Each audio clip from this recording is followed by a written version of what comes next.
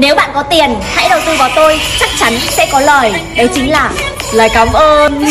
Lời cảm ơn. 哎呦我的妈！